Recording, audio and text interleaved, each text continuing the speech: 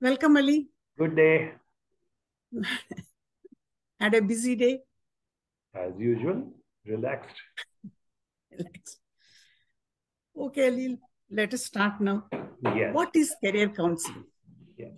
Before I answer what is career counseling, let us be clear what is career. Then we'll talk about career counseling. Because Okay. many people don't even understand the concept of a career. When I ask some youngsters, what career would you like to take up? They say things like, I want to do BBA or I want to do computer science engineering. So I tell them that that is a degree, that is a study that you are going to do, which is going to lead you and prepare you for your career. So I, what I want to know is what career do you want to take up? Yes, sir, I want to work in a company like Infosys or Wipro or something. Yes, those are jobs. There's a lot of difference between jobs and career. So the course of study is not a career. The job is not a career. What is career? Career is your domain specialization in which you are going to be active, most probably for the entire working life, which in today's era can spread to easily 40, 50 year, years. So what is it that you have acquired through your courses, through your uh, you know degrees and this and that? And if you can say, I am a medical doctor, that is a career. I am a software engineer, that is a career. I am a legal professional, that is a career. Now, within that career, you may do a lot of things. A doctor may be setting up his own clinic. A doctor may be working in a hospital. A doctor may be teaching medicine to others. A doctor may be writing books about uh, medicine. A doctor may be doing social work as uh, with an NGO and you know improving community health and uh, slum health uh, uh, schemes. These are all the you know the things that you do in from time to time, and your priorities may also change. But career is that I am qualified as an architect. This is my career. I am qualified as a counselor. That is my career. Now, well, since you asked this question, what is a career counselor? A career counselor obviously is a person who helps the person to choose the right career for the right reasons. So, if a person can help anybody, it need not necessarily be a student, it can be somebody who is halfway through career also, but primarily for people who are at crossroads. Let's say the person has come to 10th standard, 12th standard, or has even taken up some degree. So, what is the career? What is the direction that I will head for? And that, if it can be done, a person who helps that candidate to take the decisions to find out what is the right reason for choosing a career is what I would define as a career counselor. Okay. I think you defined it uh, very well. It is true that many students say that I want to do my computer engineering, I want to do this, I want to study this and all that. It's very common. Uh, Ali, at what stage of life they should come for career counseling? Okay, that's very interesting. I keep telling parents, you should help your children start looking towards careers when they are in primary school. Take them and explain, keep explaining to them about different careers wherever you go for a picnic, you go for shopping, you go to a hospital, you go, you know, for filling up petrol. You ex keep explaining children because this is not part of curriculum anywhere. Whatever a child may be studying in school and college, awareness of careers is not part of the curriculum. So a child should be told if a child is taken to a hospital for treatment, the child can be told that, see, this is a doctor. The doctor treats you. But along with the doctor, did you see there's this nurse who helped you to, you know, uh, take your temperature or who did this or did that? What's the difference between a doctor and a nurse? Then the doctor said you have to get a blood test. So there's a technician who does the blood test. What's the difference between that? Similarly, you go to a mall. So you see this beautiful building. Child says, yes, it's very nice. Do you know who designs it? The person is called an architect. He designs it. But he doesn't build it. Who builds it? A civil engineer builds it.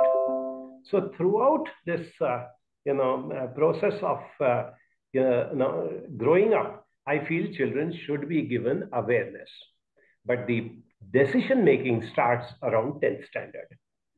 Most of our curriculum, barring a few where you do have an option to select subjects in the 9th standard, most of the uh, curriculum and most of the things, what happens is till 10th standard, children are asked to study all the subjects, which is maths, all three branches of uh, uh, science and all three branches of social studies and two or three languages. So that is decided. But the first time a child has to take a decision is when he or she completes 10th standard. That is when the decision has to be taken. Do I take science? Do I take commerce? Do I take arts? If I take science, do I take PCMB, a PCMC, a PCBH? There's so many combinations available. Now, if a person takes the wrong combination, the person is moving off in a direction which is away from the goal. It's like I want to go from here to Chennai, but by mistake, I've gone on to the Mysore road. I'll have to again come back so many miles and then catch on to the right road, isn't it? Similarly, there are a lot of people who have this misconception, particularly parents and a lot of children also. I will take up PCMB because all options are open to me. I think that's a very wrong decision. You don't select subject just because the options are wider. By the time you've come to 10th standard, you have some idea. Are you a mathematical and a logical person? Are you more towards life sciences? Are you more people oriented? Are you more language and literature oriented? Are you more creative and design oriented? Some indicators are definitely there, need not be final. So that's the time when the child at the first instance needs career guidance. And then the child moves on to 11th and 12th standard. After that is very, very crucial. Once you take admission in whatever professional course, degree course, and all that, you have almost finalized the direction of your professional life. So before that decision is taken, career guidance has to be done. And then, of course, a lot of people, even after studying their degree, whatever degree they may have acquired, they still are not very sure. Because throughout the degree, they are busy preparing, doing assignments, giving exams, and doing all those things. And at the end of the degree, they say, okay, I've acquired this degree, now what? So that is the third stage. These are the three crucial stages when a person requires career guidance. I find many parents trying to impose their will on the students. So they insist that they should become doctors or engineers or something. Mm-hmm. They don't take into consideration uh, child's interests. So how often you come across cases like that? Unfortunately, we do come across, but thankfully not too many. So I don't maintain a record of uh, you know the statistics, but yes, there are a few parents who do have this. And the interesting thing is, obviously, as we know, they are doing it in the interest of the child. They are not their child's enemy. They want the best for their child. That is why they are saying you have to become a doctor, you have to become an engineer, or whatever they are imposing on the uh, child. The unfortunate thing is, they are thinking 30 years back when they were choosing their career. 30 years back, if a person wanted to choose a career, you could count the lucrative careers on your fingertips. The successful people were doctors, engineers, chartered accountants, IAS officers. That's it, full stop. All the others not only earned less, they had less respect in society also. So they went through that. And in many cases, they realized that they could not compete and they could not do what was their first choice.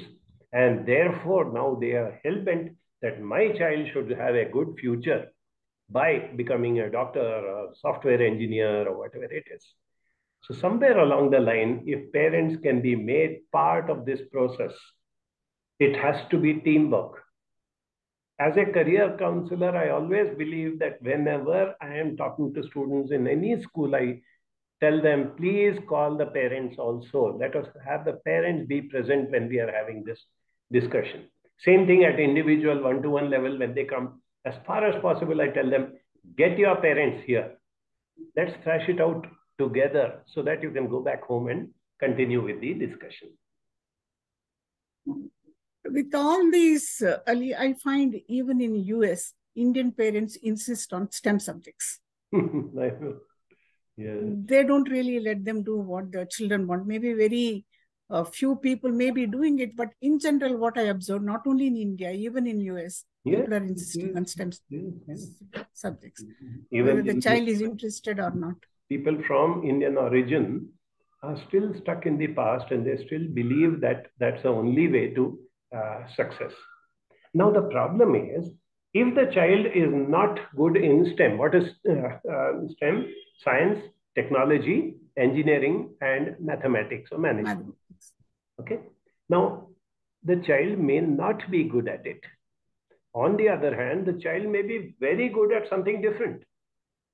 So you're depriving the child of that and asking him to do something else. Let's say a child is very good in playing basketball, but you insist that he should play badminton. What will happen? You are losing out on the potential of this child becoming a good uh, uh, basketball player, and you're creating a very mediocre uh, badminton player. That at least you know you can change, you can do whatever, but careers you can't change so easily. So if a child is pushed into so- something, and if he happens to be mediocre in it, those days are gone that just the degree. There was a time, I agree, 10, 20 years back, the moment you had a computer science engineering degree from even an average college, you were guaranteed that you'll get a job with some software company and then you'll move on, you know, to doing whatever. But even in that segment, people don't admit it, but many of them have had a burnout.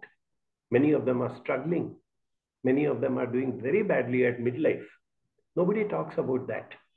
And that is why this craze for STEM continues even in today's world when there are so many lovely options. Uh, Ali, I have come across a child who is very much uh, interested in Montessori teaching, but parents insisted that uh, he should uh, take up engineering. He has done engineering and he's doing well for all the practical purposes, but he may not be satisfied. Uh, that's a different question. But who will think of that? Yes. STEM subjects offer lucrative jobs. Yes, but lucrative to what extent? If you, you must be aware that in the last few months, from November onwards last year, so many people in the STEM sector, in the software sector, have been laid off. And many of them happen to be people with very good experience 10 years, 15 years of very good track record. So when a recession hits, what happens? The people who have not got that passion, who have not come in because they are committed to it, but only because you get better jobs, they are the ones who stumble. Now, I would like a child at 20 years or 25 years of age to struggle his way through and find the right direction rather than doing the same thing at 45 years of age. How much more difficult it is. These are realities which somehow people don't seem to even want to think about it. There'll be some media uh, hype about layoffs and this and that. Within few days, it will die off and everybody will forget about it. But what has been the impact? What is the long-term impact? Do we find out what needs to be done to look at things in a wider and a bigger picture? Who will think that far? Of what's going to happen after 15, 20 years? Yes, that's a. So generally, parents don't think that way. they don't think that way, and that is where they're making a fundamental mistake, and they are playing with the future of their child. And Ali, I found that uh, among the parents, awareness is very less. Like I've come across a boy whose father is a, uh practicing criminal lawyer. He suggested to his son to apply for national law school, Hmm. uh, but he refused. Uh, he did his commerce, but now he repents. He feels that he should have been a lawyer because he didn't know anything about law. He thought law means only criminal law. Yeah. Now his friend works uh, in Singapore as a company lawyer. yeah. Now he realized that he should have done that. My question is, why didn't the father, who is a lawyer, didn't explain about the different uh, branches of law? Yes. He could have Maybe introduced to others. He could have made him, you know, look at the wider picture. So many things could have been done. Could have been come done. across uh, children who uh, say that, you know, I don't know what career I want to take, but I know which career I don't want to take. Okay, which is that? Medicine. Why? because my mother is a doctor, my father is a doctor, and they are so busy, they have no time for me, and they're always uh, uh, struggling. So I don't want to be a doctor. But that's a wrong reason. No? Every No, doctor need not be busy. A doctor can choose his timing. A doctor can choose his lifestyle. Nobody explains that to uh, them. That if you're really good at it and if you're passionate about it, you have the talent, become a doctor. But it doesn't necessarily mean that you'll be doing 24 hours work or whatever uh, it is. In every field today, a competent person who has chosen the career for the right reasons can choose his own lifestyle and still make sufficient money. Maybe not very big money, but sufficient money. But people look at making very big money. Huh. That is where you know you can't do anything about it. That if somebody is got this absolute craze that I just want to make very quick money and this and that. I come across people who said, by 40 years of age, I want to earn 10 crores and then retire. Yeah. Firstly, at 40 years of age, that 10 crore may have devalued so much that it may not be enough for you to last your lifetime. Okay, even if that is the case, the second thing is from 40 onwards, what do you do with your life? You can't be sitting at home. People will look down upon you. You will not have company. Nobody will be willing to spend their weekdays uh, uh, with you. What is going to happen to your self esteem? That is something that needs to be looked into.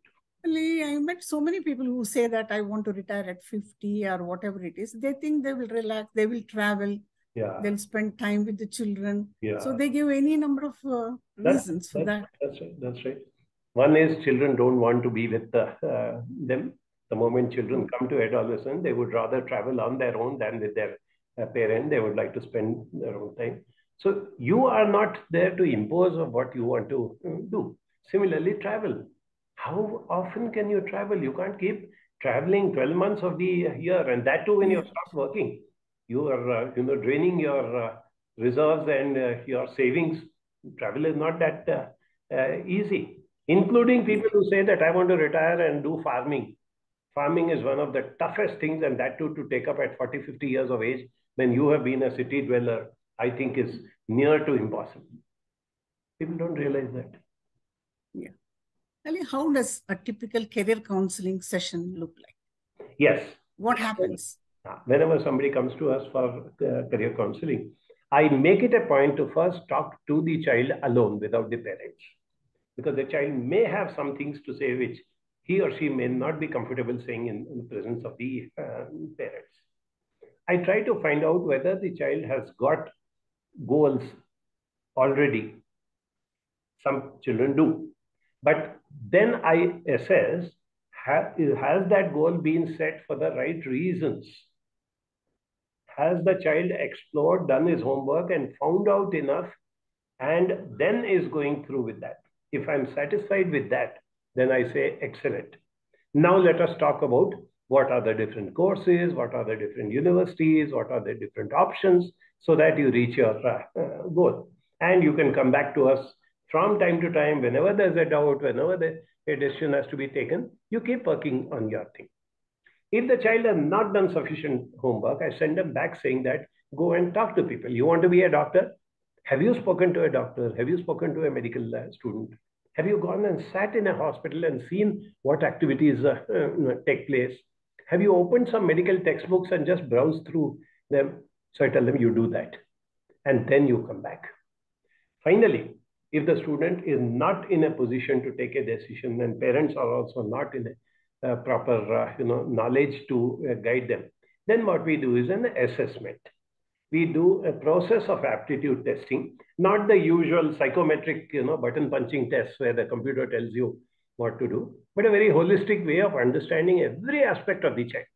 Because every parameter leads towards certain you know careers how good, uh, how are the social skills of the person? How good is the commercial acumen of the person? What is the attention span of the person? What is the memory uh, retention of the uh, person? How good is the general knowledge and the um, you know awareness of what's happening? So all these parameters put together give us an idea about what are the type of careers, and then we make a range of careers and help the child to do what we call as a reverse elimination eliminate those which you are not interested in, even though you know that you are capable of doing well in that, but somehow your interest is not there, eliminate uh, uh, it. Keep narrowing down. Then we decide if the child is only in 10 standard, which are the subjects which will take him closer to his destination. So we have another two years to go ahead, or at least one year.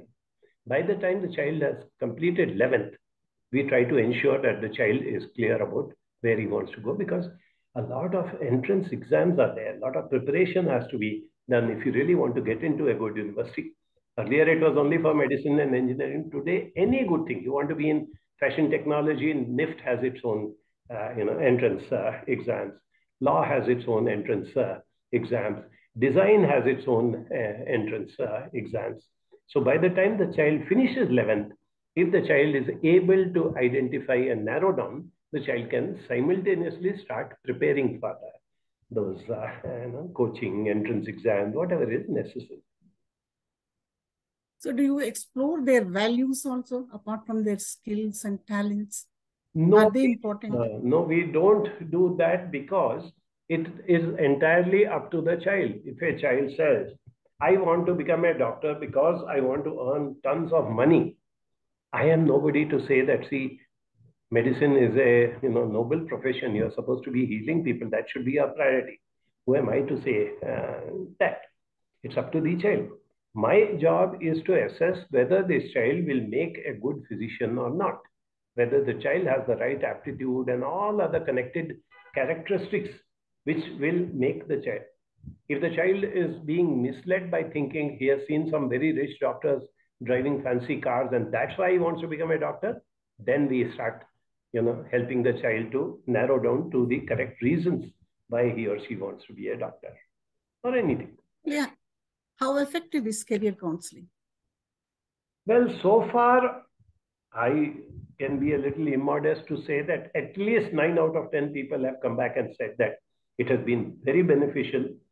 Some, they say it's been an eye opener. They say that it has really given them a direction and stuff like uh, that. But with the rider, that it has to be done in the correct format.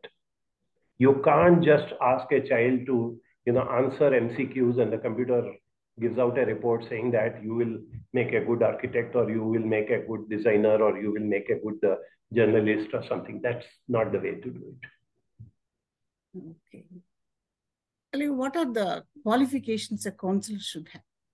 Ah, in, Is there any? Yeah, yeah, yeah. In India, there is no, uh, you know, governing body for counselors and psychologists and psychotherapists. So anybody can call himself a counselor. Anybody can call himself a career uh, counselor. By law, there is no, uh, you know, restriction. No, The person should be spending significant amount of time in studying and learning. Firstly, human psychology, behavioral uh, sciences, and then specifically into careers. And let me tell you, it's a continuous process. Because unlike other aspects of human behavior, career possibilities and career selection keeps changing. They change so fast. Unless you're up to date with it, you will not be successful as a career uh, counselor. There was a time, uh, uh, you know, for example, you could become an architect without taking up science. They said if you're doing commerce with maths, you are eligible to give the NATA exam and you can become an architect. Two years later, the Council of Architecture changed and said we will take only science. Now a career counselor has to be aware of uh, that. What are the possibilities of getting, you know, cracking the National Law uh, School uh, exam? How high is the competition? And in case you don't crack it, what are the other options? There are so many other excellent law schools in which you can get in. So it's not the end all and be all of it. Like how the So counselor should be up to date with up to date with all the information those and also the uh, you know trends among the uh, children. Because as you had said in the beginning, there's a lot of this herd mentality. You will remember 15, 20 years back, there was this craze for biotechnology, and every second person wanted to be a biotechnologist. Similarly, there was a, a craze for dentists. Today, so many dentists find that they have got no meaningful employment left for uh, them. Not that those careers are bad, careers are excellent. But people who went in just because of that herd mentality, somebody said, You're not getting admission in MBBS, take a BDS, you become a dentist, you do this and that. They never had that aptitude and the inclination for it. those are the people who suffer. Thanks, Ali, for joining us today and giving valuable information about uh, career counseling. You are our valuable resource. I'll keep approaching you again and again for your views on various topics. Always my pleasure. Thanks, Thank you. thanks once again. Thank you. And